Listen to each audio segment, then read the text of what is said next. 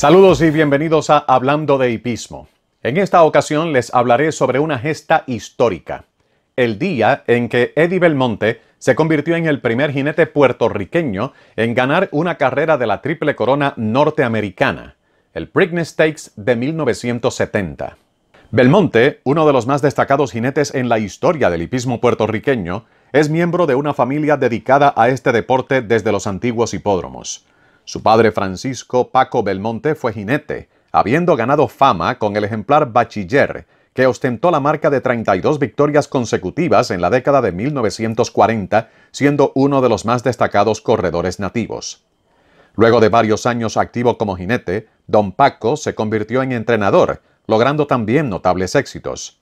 Mientras tanto, crecía en Eddie el deseo de seguir la tradición familiar y convertirse en jinete siguiendo los pasos de su hermano Johnny, quien fue exitoso en esa profesión. Eddie logró su propósito contrario al deseo de su padre y debutó en la séptima carrera del viernes 3 de febrero de 1961 en el hipódromo El Comandante, a bordo del importado Muslim Prince, finalizando en la tercera posición. Siete días más tarde, el viernes 10 de febrero, Eddie consiguió su primera victoria sobre el importado San Carlos, propiedad del Isla Stable y entrenado por su hermano Carlos Belmonte. Ese fue el inicio de una carrera exitosa para Eddie, quien tiempo después viajó a Estados Unidos donde poco a poco fue estableciendo su nombre. Durante la década de 1960, Eddie se convirtió en uno de los principales jinetes del área este de Estados Unidos, especialmente en el circuito de Nueva York. En varias ocasiones, regresaba a Puerto Rico invitado a montar en eventos especiales junto a su amigo Ángel Junior Cordero, hasta que llegó la oportunidad de decir presente por primera vez en el Kentucky Derby. Eso se produjo en la edición de 1966 sobre el ejemplar Exhibitionist, finalizando en la novena posición detrás del ganador Kawhi King montado por Don Bromfield. Dos años más tarde, Belmonte tuvo su segunda experiencia en el Derby al terminar decimotercero en la edición de 1968 sobre Gleaming Sword, Luego, en 1970, tuvo su tercera oportunidad sobre Personality, finalizando octavo a 12 cuerpos y medio del ganador Dust Commander montado por Mike Manganello. En esa prueba, Personality, que fue bien considerado en las apuestas junto a su compañero de cuadra High Echelon, no figuró nada, corriendo muy atrás desde temprano. En cambio, High Echelon terminó tercero, cerrando fuerte en la recta final. Luego de esa carrera, los intereses del ejemplar Personality decidieron incluirlo en el Preakness, dándole entonces nuevamente a Belmonte la oportunidad de montarlo. Personality, criado en Kentucky, era hijo del cemental Hale to Reason y la yegua Affectionately por Swaps. Hale to Reason, campeón dosañero de 1960 y campeón cemental, era descendiente de Manowar por su línea materna, mientras la yegua Affectionately fue campeona a sus dos años y campeona mayor y sprinter, nieta materna del triple coronado War Admiral, un hijo del gran mano War. Personality era propiedad de la señora Ethel Jacobs y entrenado por su hijo John Jacobs.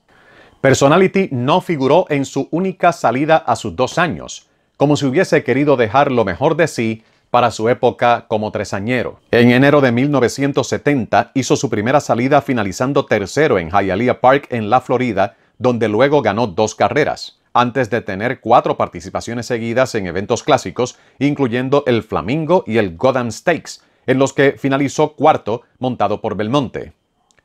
El 18 de abril se impuso en el Wood Memorial, nuevamente con Belmonte arriba, victoria que lo llevó al Kentucky Derby en el que no tuvo éxito. Luego, el 16 de mayo de 1970, llegó el día de la consagración de Eddie Belmonte. Personality enfrentaría a un grupo de 13 corredores en la distancia de 1900 metros junto a su compañero de cuadra High Echelon. El favorito lo fue My Dad George, que venía de finalizar segundo en el Kentucky Derby. Y se produjo la salida del evento presentando en los primeros 200 metros al ejemplar Silent Screen en los carriles interiores buscando la delantera. Más cerca de la baranda corría Personality en lucha afuera con O Fudge y Plenty Old. Cuando restaban 1400 metros para el final, Personality corría colocado en la quinta posición, mientras en ese punto O Fudge era el líder con parcial de 23 segundos y 2 quintos. En la recta lejana, Silent Screen recuperó la delantera, seguido por Plenty Old y O Fudge, En ese momento, Personality corría sexto, mientras el favorito My Dad George ya iniciaba su movida desde el fondo. Restando media milla para el final, Silent Screen estaba al frente con par de cuerpos. Aquí ya Personality adelantaba pasando a luchar la cuarta posición. Detrás de él iniciaba su ataque el ganador del derby Dust Commander y luego estaba My Dad George. El avance de Personality lo llevó a colocarse segundo poco antes de pasar el poste de los 600 metros, mientras Silent Screen continuaba al frente. Dust Commander se ubicaba tercero en lucha con Plenty Old y My Dad George seguía adelantando. Entrando hacia la recta final, Belmonte trabaja al máximo a Personality que amenazaba seriamente a Silent Screen, mientras My Dad George seguía mejorando pasando a la tercera posición por segundo carril. En los últimos 200 metros, la escena seguía idéntica con Silent Screen resistiendo el ataque de Personality y My Dad George, hasta que se dio la delantera en los 100 metros finales.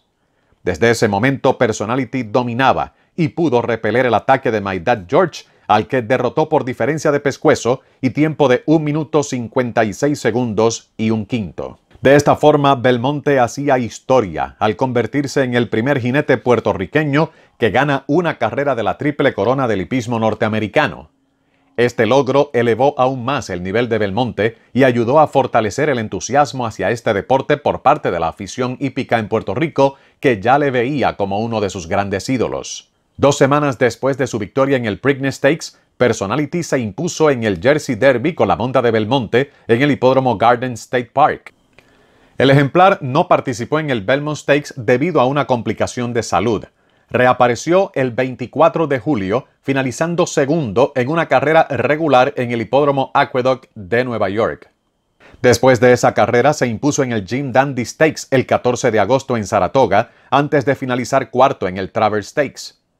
Tuvo dos figuraciones adicionales, finalizando quinto y segundo en dos eventos clásicos en Belmont Park, hasta que cumplió su última salida como tresañero al imponerse en el Woodward Stakes el 3 de octubre en Belmont Park. Con esta victoria cerró su campaña de 1970, en la que fue seleccionado como campeón tresañero y caballo del año, con ocho victorias en 18 salidas y sobre 444 mil dólares en premios. Al año siguiente, Personality no consiguió victoria alguna en seis salidas, aunque logró figuraciones clásicas y posteriormente fue retirado para servir como semental, primero en Estados Unidos y más adelante en Japón, donde murió en 1990. Belmonte, por su parte, continuó activo como jinete hasta mediados de la década de 1970, cuando comenzó a confrontar dificultades para mantener un peso adecuado para montar, lo que forzó su retiro. Hizo intentos de convertirse en entrenador y agente de jinetes hasta que una situación de índole legal le obligó a regresar a Puerto Rico, donde fue instructor de la Escuela Vocacional Hípica y fungió como oficial de la Administración del Deporte Hípico. Belmonte no tuvo una larga carrera como jinete, pero el tiempo en que estuvo activo fue suficiente para demostrar sus grandes cualidades, no solo montando caballos de carreras, sino como ser humano, ayudando a todo el que necesitara de él. Por tal motivo fue bautizado como Eddie Corazón de Oro Belmonte. Hasta aquí hablando de hipismo. Hasta la próxima.